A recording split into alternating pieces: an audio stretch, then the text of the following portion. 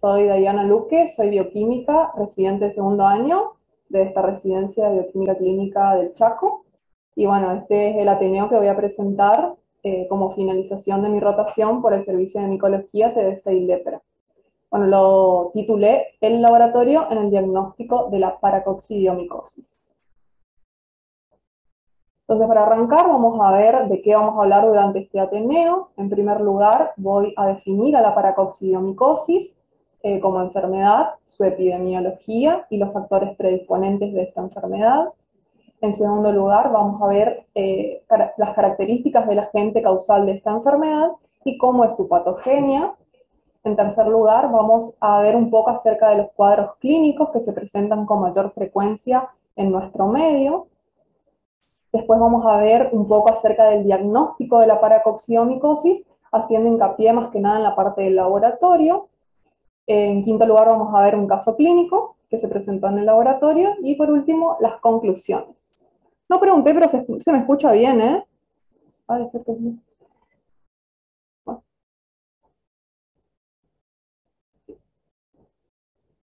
Bueno, entonces, en primer lugar vamos a definir a la paracoxidomicosis como una micosis sistémica endémica de áreas tropicales y subtropicales húmedas que afecta principalmente a humanos y a los armadillos de nueve cintas, que son estos animalitos que son predominantes en nuestra región, acá del Chaco.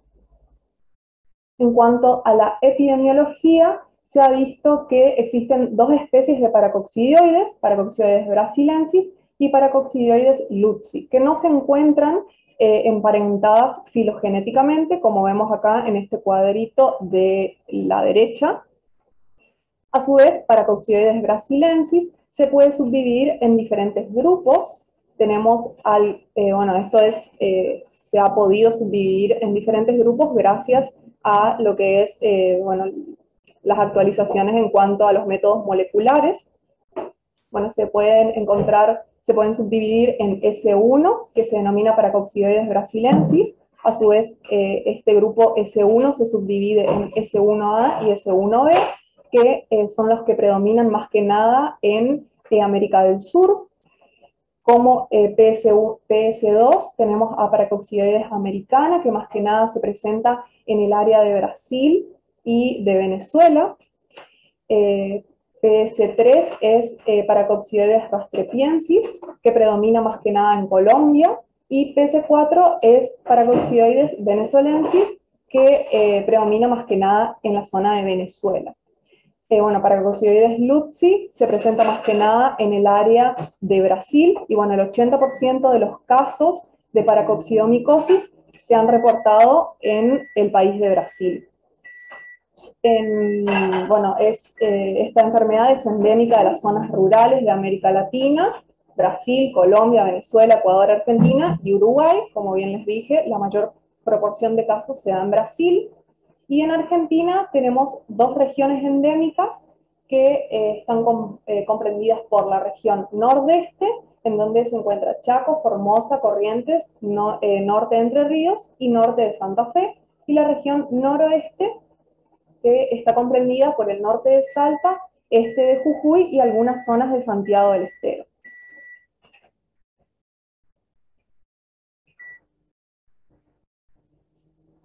Bueno, en cuanto a los factores predisponentes, tenemos el factor más importante, que es el factor ambiental. Este hongo vive en zonas de climas cálidos, eh, climas eh, con estaciones lluviosas, suelos de pH ácidos, ricos en sustancias orgánicas, y cercanos a cursos de agua dulce con áreas boscosas e inviernos eh, muy cortos.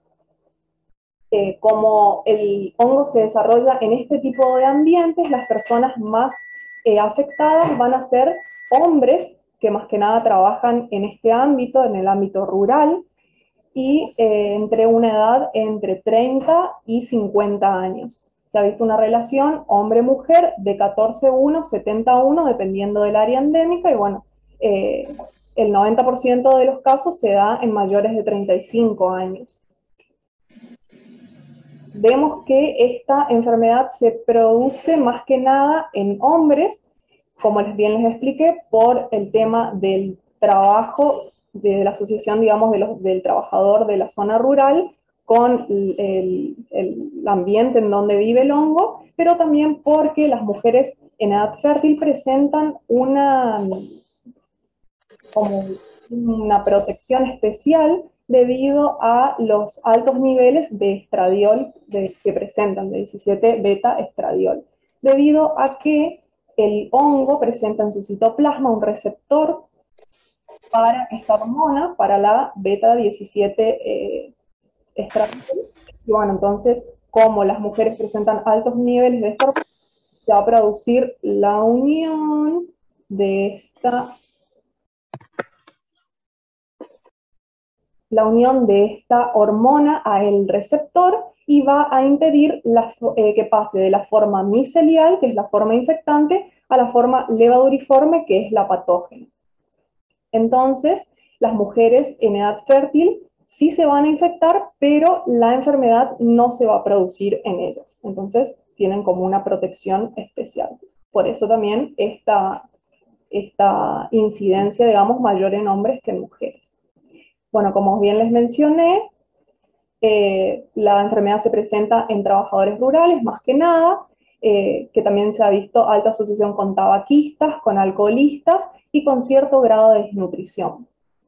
Y también se ha visto ciertos factores genéticos asociados a esta enfermedad que se, han estudiado en familias que se han infectado, en donde eh, predominan estos complejos mayores de histocompatibilidad y se los propuso como factores genéticos que podrían llegar a ser, predisponentes para esta enfermedad, que son el complejo mayor de histocompatibilidad A9, B13 y B40. Esta enfermedad no se transmite de humano a humano, no se transmite de animales a humanos y no se comporta como una enfermedad oportunista, eh, como, haciendo como la diferenciación, podemos decir, con respecto a la histoplasmosis que se presenta más que nada en pacientes inmunosuprimidos. En cuanto a la gente, vamos a ver que el paracoccidioides es un hongo termodimórfico, que quiere decir que presenta dos tipos eh, de presentaciones, una micelial, que se presenta eh, en el ambiente, digamos, a 28 grados Celsius, se presenta en su forma micelial, y es la forma infectante, y a 37 grados Celsius se presenta como un hongo eh, levaduriforme, que es el que causa la forma parasitaria, podemos decir, que es el que causa la enfermedad. Eh, bueno, paracoccidioides presenta múltiples factores de virulencia, dentro de los cuales podemos mencionar las proteínas de unión a estrógeno, que como les mencioné, facilitan el pasaje de la forma micelial a la forma levaduriforme.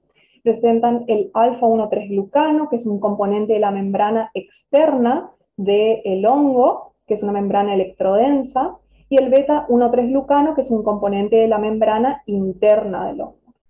Tenemos el antígeno extracelular glucoproteína 43, que em, es el más predominante, podemos decir, es el que se utiliza para la mayoría de, eh, las, los, de las técnicas serológicas, y eh, este antígeno extracelular GP43 tiene, le confiere la capacidad de evadir la respuesta inmune del hospedero y también presenta una actividad eh, proteolítica frente a elastina y a gelatina. La melanina es otro factor de virulencia que presenta este hongo que evade la fagocitosis por parte de, de los macrófagos y de los polimorfonucleares. Y el último factor de virulencia es la capacidad de crecimiento a 37 grados Celsius que le facilita el, bueno, causar la enfermedad en aquellos organismos susceptibles, digamos. En cuanto a la patogenia de la enfermedad, como les mencioné anteriormente, eh, este hongo se va a encontrar en la naturaleza, en suelos de pH ácidos, eh, con cursos de agua cercanos. También se piensa que están cercanos a las cuevas de los armadillos de nueve cintas. Bueno, entonces, eh, esta forma micelial, los propágulos, eh, van a ser inhalados por el, el, ser humano, digamos, y los demás organismos, y eh, bueno, esta es la principal fuente de infección, la vía eh, pulmonar. También están descritas otras vías, pero bueno, esta es la más frecuente, es la que voy a explicar. Estos micelios ingresan por vía aérea, van hasta los eh, alveolos, en donde son fagocitados por los macrófagos alveolares. Allí en este punto se eh, transforman de forma de micelio a forma de levadura y se multiplican activamente. Eh, la inmunidad innata se ha visto que es, que es la primera que actúa, se ha visto que es ineficiente para controlar esta infección, entonces ciertos autores, como por ejemplo el doctor Negroni, propone que se multiplica activamente la levadura, causa un foco neumónico, de allí se disemina hacia los ganglios iliares, pulmonares iliares, y de allí pasa a ganglios, bueno, ganglios linfáticos, y de allí pasa a la circulación sanguínea, causando una eh, fungemia que es asintomática y es transitoria. Luego de las tres semanas se desarrolla una respuesta inmune adaptativa que por lo general es de perfil TH1, que lo que hace es eh, contener a estas levaduras dentro de nódulos y estos nódulos pueden o bien, eh, tenemos dos posibilidades, que queden como focos latentes con posibilidad de, de reactivación en el futuro, o bien que los hongos sean eliminados, o sea, sean, se mueran, digamos, dentro de esos nódulos. Bueno, esta es una fotito que les puse que me gustó, en donde muestran cómo va eh, cambiando, digamos, desde la fase micelial a las 0 horas hasta llegar a los 10 días bien a la fase levaduriforme, que es la fase parasitaria. Bueno, en cuanto a los cuadros clínicos, tenemos dos posibilidades, eh, la paracoccidomicosis infección y la paracoccidomicosis enfermedad. En cuanto a la paracoccidomicosis infección, es la más frecuente, y bueno, se ha visto que eh, todas las personas que viven en áreas endémicas se han, han entrado en contacto con el hongo antes del, del primer año de edad, digamos, y bueno, puede presentarse como una forma asintomática o subclínica o bien como una forma primaria pulmonar, en donde las manifestaciones clínicas no son muy frecuentes y bueno, puede llegar a quedar eh, como una secuela de esa primo-infección algún nódulo tanto en el pulmón como en los ganglios. Y en cuanto a la paracoccidomicosis enfermedad, hay dos posibilidades. Tenemos la forma subaguda de tipo juvenil y la forma crónica del adulto. En el caso de la forma subaguda de tipo juvenil, se ha visto eh, que, como bueno, yo les expliqué que eh, a las tres semanas la respuesta inmune es de tipo TH1, pero también se puede eh, tener un perfil de respuesta tipo TH2 en donde no, la, la infección no es contenida y eh, causa esta forma subaguda tipo juvenil que ya vamos a ver eh, más adelante, les voy a explicar con mayor detenimiento. Y bueno, la forma crónica del adulto se da justamente por estos focos que les comenté que se producen en la respuesta de, eh, perfil TH1. En primer momento se contiene a la enfermedad dentro de los granulomas, pero hay una posibilidad de reactivación en el futuro y bueno, si se reactivan, vamos a tener esta forma crónica del adulto.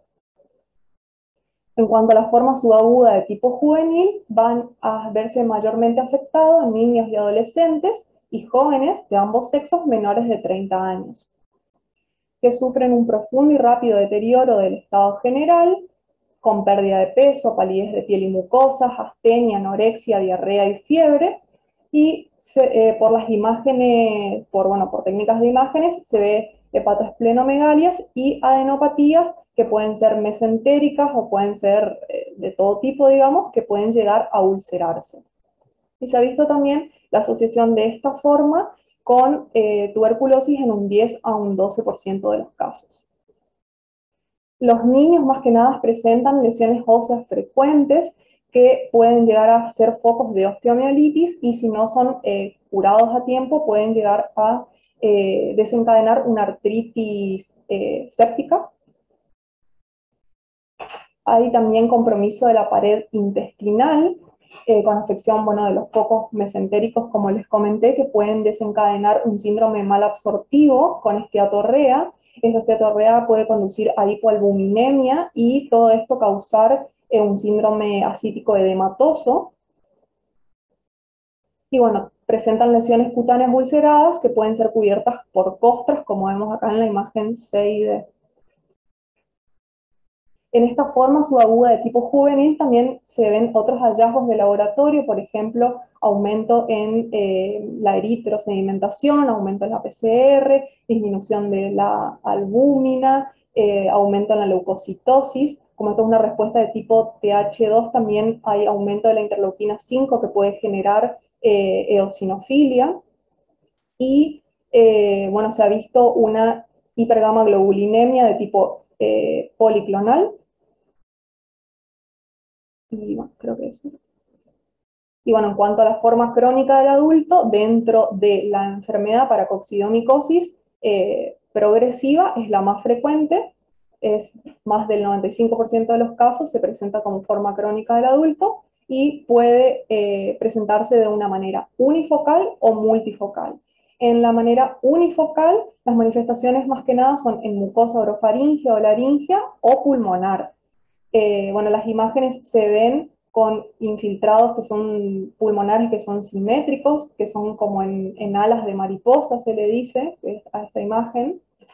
Eh, en cuanto a las úlceras, que se, pueden bueno, que se presentan eh, muy frecuentemente, son úlceras de tipo granulomatosas con, con fondo hemorrágico puntiforme, que pueden cubrirse por ahí por una cerosa de color amarillenta y posteriormente se forman costras. en la forma multifocal, que también se encuentra dentro de la forma crónica del adulto, es la afección más grave que se puede presentar, presenta lesiones mucosas, cutáneas, ganglionares, pulmonares y también en casos suprarrenales. En el caso de las lesiones mucosas se suelen presentar estas eh, estomatitis moriformes, y como hay una infiltración en lo que es la mucosa eh, labial, digamos, aumenta de espesor, generando lo que se conoce como labio trombiforme, que bueno, no se ve muy bien en esta fotografía, pero es un, labio muy aumentado de espesor, digamos. Y bueno, como hay también infiltración de lo que es eh, las encías y con mucha reacción inflamatoria, también puede haber pérdida de las piezas dentales. Las formas pulmonares también se presentan en, bueno, en estas formas multifocales, pueden presentarse varias de estas, todas simultáneas, digamos.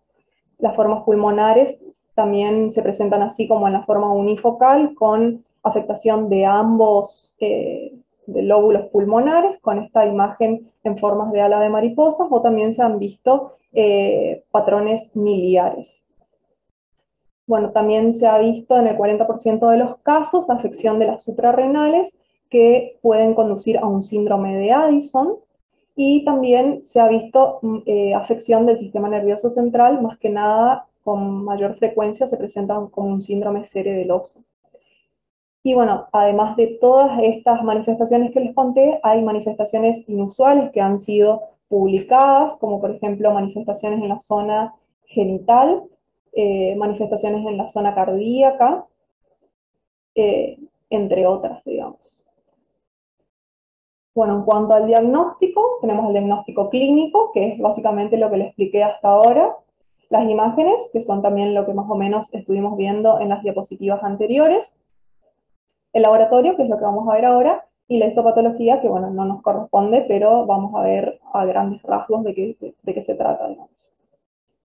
Entonces, dentro del diagnóstico de laboratorio tenemos los métodos directos que van a demostrar la presencia del hongo dentro o en el sitio de, investigación, podemos decir, y los métodos indirectos que se basan en demostrar la respuesta del huésped frente a la infección por eh, este microorganismo.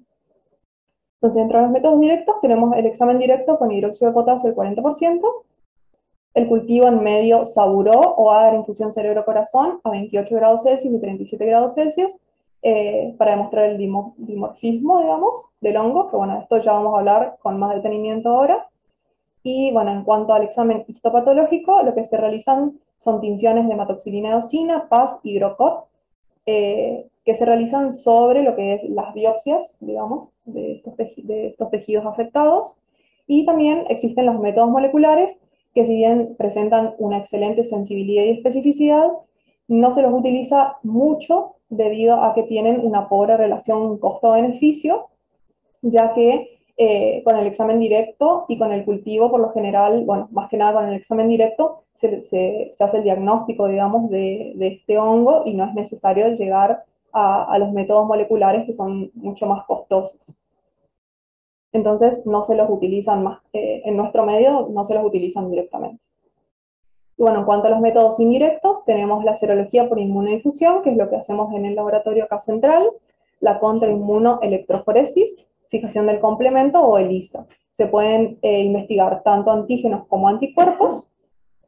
Y bueno, tenemos también dentro de los métodos indirectos la prueba cutánea con paracoxidioidina, que es una intradermorreacción que lo que hace es demostrar eh, una reacción de hipersensibilidad retardada, que lo que nos da una idea es que si la persona estuvo o no en contacto con el hongo. Eh, esta prueba no tiene mayor utilidad y en nuestro medio no se la utiliza directamente, pero eh, bueno, es una intradermorreacción así similar a la, reacción con, a la intradermorreacción con tuberculina, que se las lee a las 48 horas.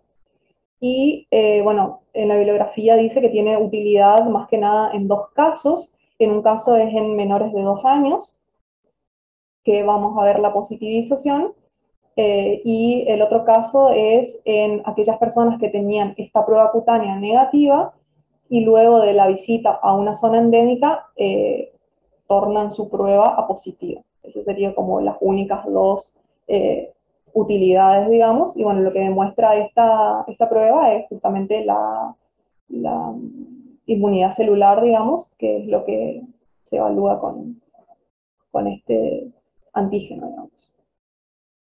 Las muestras que podemos recibir son muestras de sitios estériles, como punción de ganglios o nódulos, biopsias de piel, mucosas u otros. Que bueno, estas biopsias en realidad, si es de piel, no sería estéril, eh, sino sería como de sitios profundos. Esto acá tendría que ir de este lado, y bueno, punción de médula ósea y líquido cefalorraquídeo. Y dentro de muestras no estériles tenemos el esputo, val, bueno, raspado de úlceras, cutáneas o mucosas. En realidad la biopsia de piel, si es una biopsia profunda, no de dermis, digamos, sí sería como eh, estéril.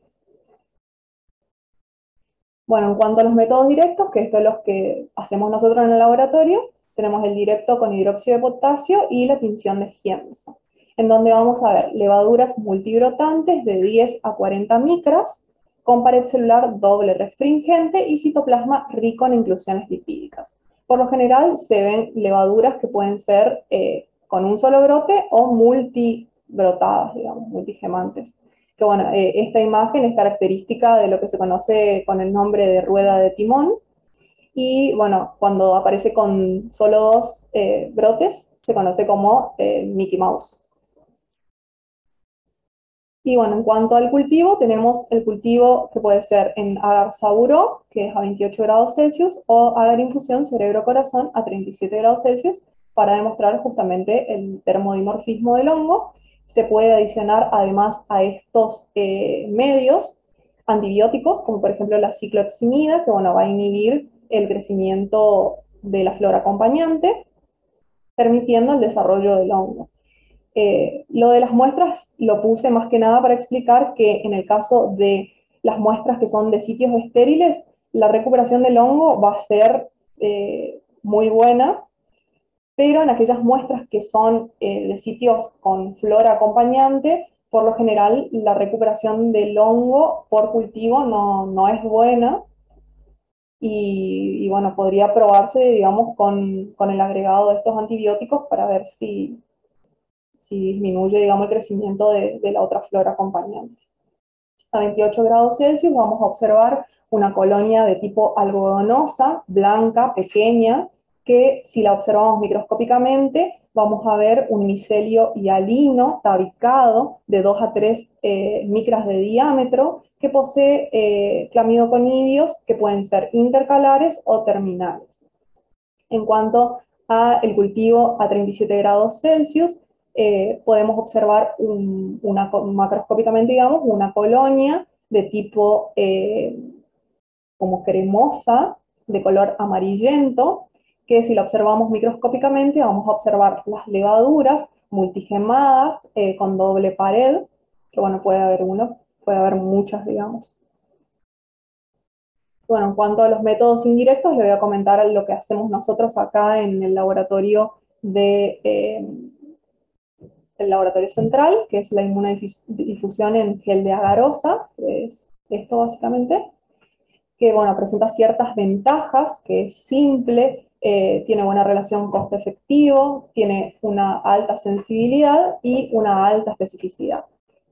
Para ello nosotros utilizamos antígenos eh, que, son, que es el GP43, que son proporcionados por el Departamento de Micología del Instituto Malfbrán, que lo preparan con una cepa de referencia de Paracoccidioides brasilensis eh, B339. Eh, acá se pueden utilizar diferentes tipos de antígenos. Se pueden utilizar antígenos, por ejemplo, el GP70, se puede utilizar eh, antígenos crudos, digamos, y se pueden utilizar antígenos preparados eh, por el mismo laboratorio que eh, corresponden a las cepas que circulan en la región, digamos, que sería como lo más bueno. Nosotros utilizamos este, que es el que nos provee el, Instituto Malbrán. ¿Sería de la pared o de algún lugar especial? Este antígeno, este antígeno se lo purifica desde el cultivo. Ah. Eh, bueno, lo que hacemos con estos métodos indirectos es detectar la respuesta inmune y bueno, eh, realizamos la titulación para hacer el seguimiento del tratamiento más que nada. Bueno, lo que vamos a observar son bandas de precipitación, que básicamente son lo que se observa acá.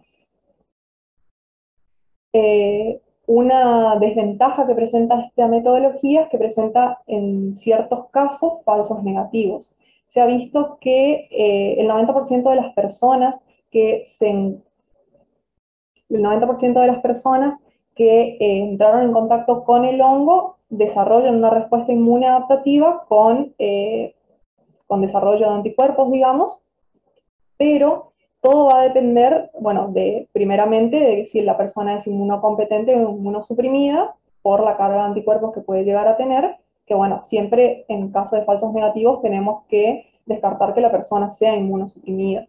Y después eh, puede presentarse otro caso, que es el caso que evaluaron las chicas del Hospital Perrando, que este trabajito presentaron ellas en el 2015, lo facilitó eh, Fernando Tracognia, en donde ellas evaluaron 58 pacientes con paracoxiomicosis, de los cuales el 15,5% eh, dieron la prueba serológica negativa.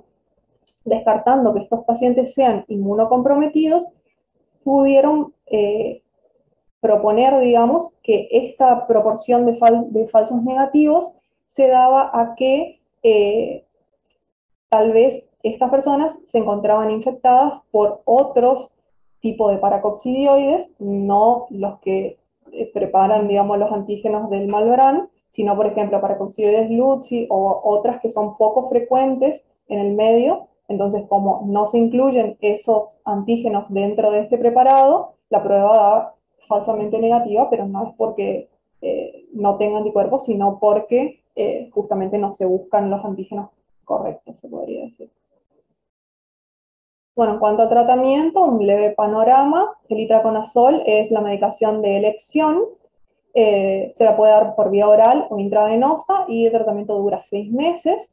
El ketoconazol prácticamente no se lo utiliza, si bien tiene menor precio, pero presenta múltiples efectos adversos y la terapéutica dura mayor tiempo. Se puede utilizar también trimetoprimo sulfametoxazol, anfotericina B, que es intravenosa, que esta se la utiliza más que nada en aquellos casos en donde hay asociación con tuberculosis, pero también se presentan efectos tóxicos, más que nada si no se utiliza la anfotericina B liposomal. Y bueno, esto más que nada se utiliza en pacientes internados, digamos.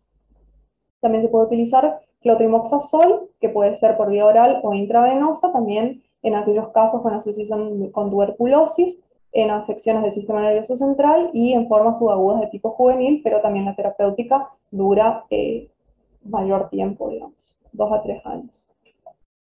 En cuanto al seguimiento, vamos a ver la definición de la curación. Podemos tener curación clínica, radiológica o serológica. En cuanto a la curación clínica, eh, se va a dar por observación de la mejora aparente de las lesiones y del estado general del paciente. La curación radiológica mejora en cuanto a las imágenes y bueno, serológica eh, se han visto disminución de los títulos hasta llegar a títulos indetectables o una estabilidad en la dilución al medio, digamos. Y bueno, para finalizar vamos a ver de manera muy sintética un caso. Es un paciente masculino de 50 años de edad, que es oriundo de Villa Río Bermejito, que para que tengamos una idea más o menos tiene eh, este ambiente, digamos, boscoso, este paciente va a consultar el área de microbiología eh, del laboratorio central el día 11 de marzo del 2021 por una úlcera costrosa en mucosa y en piel circundante al orificio nasal, que era esto lo que se observaba. Bueno, lo que se hizo es tomar una muestra de la lesión y una muestra de sangre para serología. En el directo, con hidróxido de potasio el 40%, en 40 por se observaron levaduras multibrotantes, con doble pared, refringentes y un citoplasma con inclusiones lipídicas, que no se observa muy bien en esta foto, pero créanme que así era. Y en Giemsa, en 100 eh, por, acá en esta parte, se observa bien la levadurita multibrotante. En cuanto a la serología, este paciente presentó un título de 1 en 32, y bueno, eh, Desfavorablemente no tuvimos más datos acerca de este paciente, el paciente no volvió, no sabemos si fue tratado, si el título serológico disminuyó, si las manifestaciones clínicas eh, fueron remitidas, digamos. Así que bueno, esto fue lo que es el diagnóstico desde el laboratorio y, y nada más, digamos. Después ya no supimos más nada acerca del paciente. Bueno, por último, las conclusiones. La paracoxiomicosis es una enfermedad endémica de nuestra zona. Es importante saber cuándo sospecharla, cuáles son las metodologías disponibles para su diagnóstico, el tratamiento y el seguimiento. Requiere atención interdisciplinaria para arribar a un correcto diagnóstico y tratamiento. Y bueno, desde el laboratorio, el directo y la tinción de Giemsa, además del cultivo, siguen siendo las metodologías más empleadas. Y bueno, las pruebas serológicas, como vimos, tienen interés diagnóstico, pronóstico y de control sobre la eficacia del tratamiento. Bueno, esta es la, la bibliografía que utilicé y muchas gracias.